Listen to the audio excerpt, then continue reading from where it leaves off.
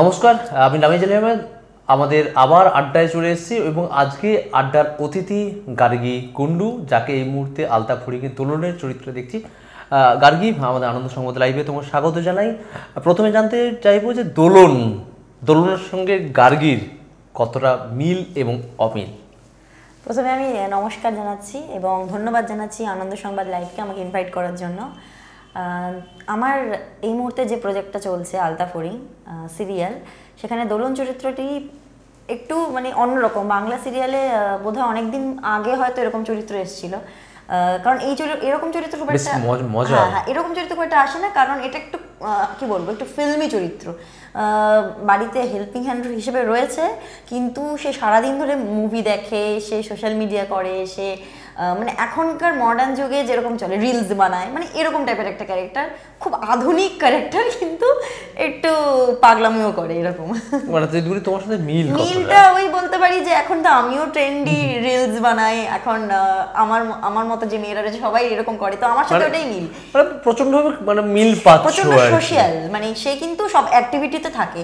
মানে একদমই ইন্ট্রোভার্ট না একটা এক্সট্রোভার্ট ক্যারেক্টার মানে আমিও এক্সট্রোভার্টই তো জন্ম বড় হয়ে ওঠা কোথায়? কলকাতাতেই আমার জন্ম আর বড় হয়ে ওঠাও কলকাতাতেই।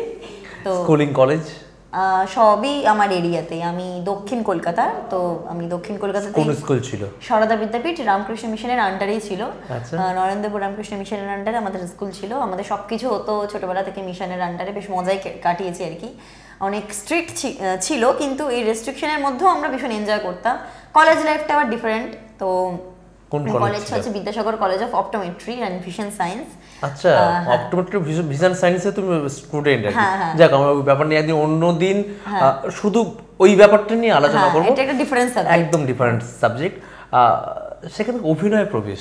সেটা কি করে ঘটেছিল? কারণ তুমি তো সম্পূর্ণ একটা যে সাবজেক্ট বললে সম্পূর্ণ একটা আলাদা একটা সাবজেক্ট এবং সেখান থেকে অভিনয় প্রবেশটা কীভাবে আহ, সেটা হয় হচ্ছে আমার সেকেন্ড ইয়ারে যখন আমি পড়ি কলেজে তখন ফেস্টে আমাদের নাটক হচ্ছিল ঠিক আছে? তো আমি এমনিতে ছোটোবেলা থেকে পাড়ার নাটক স্কুলের নাটক সবই করেছি।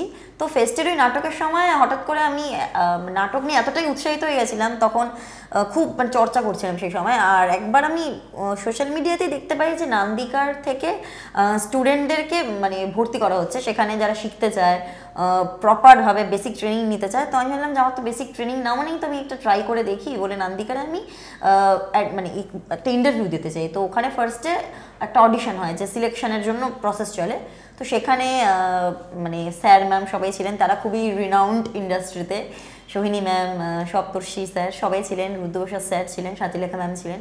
তো সেখানে আমার সিলেকশন হয়। ফার্স্টে আমি সেখান থেকে শিখি। কয়েক মাস শেখার পরে সেখানে বেশ ভালো একটা আমার গ্রুমিং হয় যেটা আমি হয়তো জীবনে আমার দরকার ছিল। তারপরে ধীরে ধীরে তপন থিয়েটারের সাথে যুক্ত হই।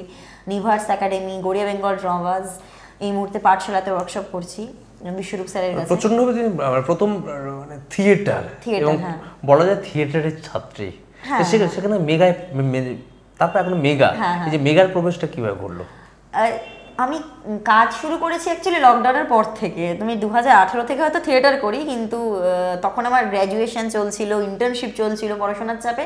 টুকটাক ফটোশ্যুট আর টুকটাক কাজ করতাম সেরকম রেগুলার বেসিস কিছু করতাম না। প্রপারলি শুরু করেছি দু একুশ সালে।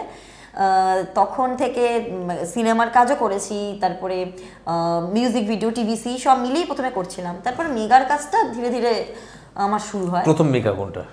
প্রথম যদি বলো তাহলে আমি মেগাতে রাসমণিতে সৌদামিনীতে কিছু ছোট ছোট ক্যারেক্টার করার পরে উমাতে ক্রিকেটারের ক্যারেক্টারে সিলেক্টেড সিলেক্টেড হই। তো তারপরে আলতাফরিং এর ক্যারেক্টার আলতা ফুটিং পাশাপাশি ছবিরও কাজ করেছ বলছিলে হ্যাঁ, প্লাস হ্যাঁ, মিউজিক হ্যাঁ। ভিডিও হ্যাঁ, কোন ছবিতে কাজ করলে? ছবিতে এই বছরে রিলিজ হবে আর কি ওগুলো। পাভেলদার ছবি করেছি কলকাতা চলান্তিকা মন খারাপ শিলাদিত্য মল্লিকের ছবি করেছি চিনে বাদাম সৌভিকদার ছবি করেছি এই রিসেন্টলি হলো আইকুকু আয় তাছাড়া আরও হ্যাঁ অন্বেষণ বলে একটা হিন্দি মুভি করেছি, তো ইসমাইল স্যারের ওটা। তো এরকম করেছি মিউজিক ভিডিও বলতে গেলে রক্তিমের সাথে করেছি, সারেগামাপার যে উইনার গৌরবের সাথে করেছি, ও সারেগামাপার উইনার তো, এইসব মিউজিক ভিডিও টিভিসি করেছি আঙ্গাদ বিদির সাথে, সৌরভ গাঙ্গুলির সাথে, এবার অনেক কিছু রিলিজ হয়েছে, অনেক কিছু রিলিজ হওয়ার পথে। তো চলছে দু হাজার একুশ সাল থেকে চলছে। হয়তো আমি কিছু ভুলেও যেতে পারি এখন হয়তো মনে পড়ছে না। মানে ইন্টারভিউ দেওয়ার সময় পরপর অনেক কিছু হ্যাঁ, করেছি মানে একদম। হয়তো এখন মনে পড়ছে না আমি হয়তো আরও এর মধ্যে কিছু কাজ করে যেগুলো মনে রাখার মতো। রিলিজ হলে বাড়ি থেকে কতটা সাপোর্ট পেয়েছে রে? প্রথমের মানে দিকে তো বাবা মা কোন প্রফেশনে আছে? বাবা মা বাবা তো মানে অন্য দিকে পুরো ব্যাংকিং সেক্টরে আচ্ছা। আর মা হাউস ওয়াইফ মানে হোম মেড সব কিছু করেন হোম হোম মেকার তো ইন আমাদের ফ্যামিলিতে কেউ কোনোদিন অ্যাক্টিং এর প্রফেশনে সেরকমভাবে ছিল না। হ্যাঁ থিয়েটারে হয়তো এক দুজন কানেক্টেড ছিল বাট কোনোদিন প্রপারলি এই প্রফেশনে যে এটাকেই মানে করবে এটাকে নিয়ে আর্নিং করবে এই প্রফেশন থেকে এরকম ভাবনা চিন্তা কারণে কারণ সবাই মনে করে যে এখানে খুব চাপ ইনসিকিউর লাইফ তো একটা সরকারি চাকরি করাটা খুব দরকার বা অন্তত একটা প্রাইভেট ফার্মে একটা সিকিউর জব একটা দরকার। তো এটা মানে আমারও এ ছিল যে জব করতে হবে। তো আমি ইন্টার্নশিপ করেছি তারপরে লকডাউনটা হওয়ার সময় বাড়িতে এত বেশি অভিনয়টা নিয়ে মানে পাগলামো করতাম যে মানে সারাদিন ধরে এটা সাচ্ছি ওটা সাচ্ছি এটা করছি, ওটা করছি। তখন খুব ক্রিয়েটিভ হয়ে গেছিলাম হঠাৎ করে মানে লকডাউনের সময় বোরিং একটা টাইম ছিল। করতে করতে আমার মনে হলো যে না এটা আমি একটু ভাবি দেখে চেষ্টা করি। লকডাউন ওঠার পর ধীরে ধীরে আমি এখানে ওখানে কন্ট্যাক্ট করা শুরু করলাম। তো কয়েক মাস পর থেকে দেখি টুকটাক করে কাজ শুরু হলো আর কি। বাড়ি থেকে কোনো সাপোর্ট করছে এখন করছে আর বলছে যে আরও ভালো কিছু করতে। আরও ওরা হ্যাঁ, স্বাভাবিকভাবে ভালো কাজ ধীরে ধীরে ওরা মানে প্রথমের দিকে খুব একটা মানে সাপোর্ট করছিল না। এখন বলছে যে ঠিক আছে চেষ্টা কর। আশা করছি ভবিষ্যতে আরও ভালো করবি।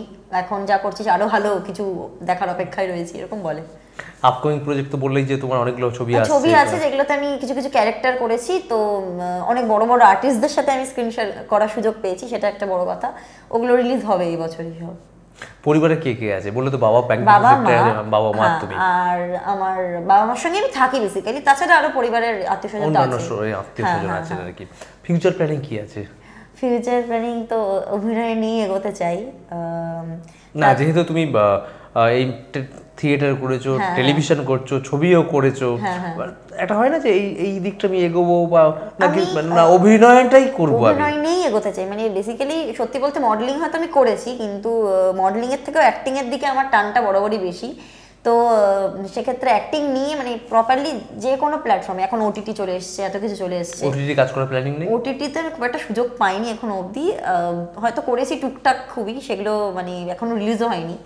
তো ওটিটিতে আমার খুব ইচ্ছা আছে যে ওয়েব সিরিজে কিছু মানে এখানে তো ওয়েব সিরিজে খুব চরিত্রগুলো অন্যরকম হয় তো আমি অন্যরকম চরিত্র করতে চাই একদম। পরিবার যখন বললে পরিবারের বাবা মা তো আছেই হ্যাঁ। আর আরেকটা হয় যে কাছের মানুষ। এই মুহূর্তে কাছের মানুষ গার্গির কে? না কাছে আমি বলছি স্ক্রিনের কাছের মানুষ নয় অরিজিনালের কাছের মানুষ কে?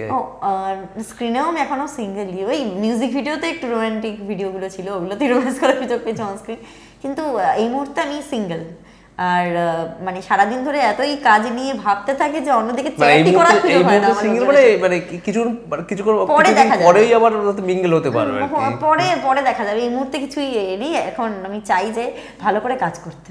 এটাই আমি চাই। আমরাও চাই তুমি ভালো করে কাজ করো এবং অনেক অনেক কাজ করো এবং পরবর্তীকালে আমরা আবার তোমার নতুন নতুন কাজ নিয়ে হ্যাঁ, আড্ডা দেবো এবং তুমি সব কটার ক্ষেত্রে তোমার নিজস্বতার ছাপ বজায় রাখো। তুমি টেলিভিশন তো করছোই পাশাপাশি ছবি তো করছ সেখানে ওয়েব সিরিজও করো থিয়েটারটাও চালিয়ে যাও। আমার তরফ থেকে অনেক শুভেচ্ছা গাড়ি হ্যাঁ। তুমি ভালো থেকো এবং পরবর্তীকালে তোমার একদম সেটে গিয়ে আড্ডা দেবো বা পরবর্তীকালে আরও বিভিন্ন বিষয়ে তোমার সাথে আড্ডা দেবো। একদম তাই। খুব ভালো লাগল যে আমাদের খুব ভালো লাগল তুমি সময় দিলে। সুন্দর আড্ডা দিলাম thank you so so much. much